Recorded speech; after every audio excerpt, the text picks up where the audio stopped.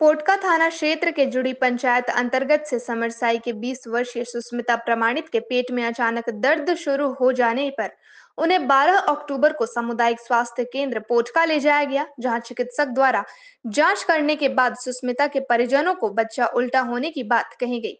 साथ ही साधन के अभाव का प्रसव नहीं हो सकता है, कहकर एमजीएम रेफर कर दिया गया। जब सुष्मिता को एमजीएम में भर्ती कराने के लिए ले जाया गया एमजीएम के चिकित्सकों ने, बच्चा अभी नहीं होने तथा सब कुछ ठीक ठाक रहने की बात कही और एडमिशन नहीं लिया, जिसके बाद सुष्मिता के पति सनोज प्रमाणित द्वारा कार से घर वापस लौटते वक्त, इस बीच रास्ते में सुष्मिता ने कार में एक शिशु को जन्म दिया जन्म देने के बाद तक सब कुछ ठीक था, मगर जब इन्हें पोटका सामुदायिक स्वास्थ्य केंद्र ले जाया गया, तब तक शिशु की मौत हो चुकी थी। सुष्मिता के परिजनों सामुदायिक स्वास्थ्य केंद्र पोटका के चिकित्सकों के ऊपर लापरवाही का आरोप लगाया है। साथ ही साथ परिजनों का कहना है कि मेरा एडमिशन नहीं होने के कारण शिशु की मौत हो गई। इसके लिए जो भी जिम्मेदार है, उस पर कड़ी से कड़ी कार्रवाई होनी चाहिए। नहीं लिया, आने के समय बच्चा रास्ता में ही हो गया क्या किए फिर आप लोग? फिर बच्चा होने के बाद भी ज़िंदा था और उसके बाद उसका डेथ हो गया और आंगनबाड़ी का सुई सब दवाई सब लिए थे सुई सुआ सब लिए थे।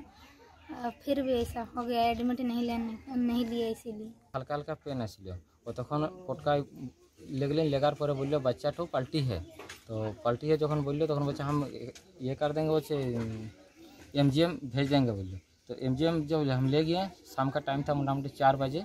तो वहाँ पर हम लोग को बोला, बच्चा सब ठीक है? कोई टाइम पास करने के लिए तुम लोग को भेज दिया यहाँ। और बच्चा उल्टा फुलटा नहीं है, बच्चा सब ठीक है। और उस टाइम हम लोग को डांट के भी निकाला, हम रहने नहीं दिया। हम लोग बोले कि हम लोग कल तो है, दस बजे रहेंगे। लेकिन हम लोग को नहीं बोला नहीं बोला तुम लोग, चल जाओ, कल दस बजे के बाद आओ। अल्ट्रासाउंड करेंगे, उसके बाद हम लोग हम कार्रवाई करेंगे। कि आज इस तरह गरीब जनता मतलब गरीब आदमी का साथ इस तरह घटना घट चुका है। इसके पहले जुड़ी का भी एक इस- तरह घटना मतलब तीन गाँव का घट चुका था। तो हमारे बोलने का मतलब उद्देश्य यही है कि जब पोटका स्वास्थ्य केंद्र से रेफर कर दिया एमजीएम तो एमजीएम में जब रेफर कर दिया तो एमजीएम में उनको एडमिट कर लेना चाहिए था। मगर बहुत दुर्भाग्य की बात है कि एमजीएम में लोगों को डांट डपट कर भगा दिया गया है।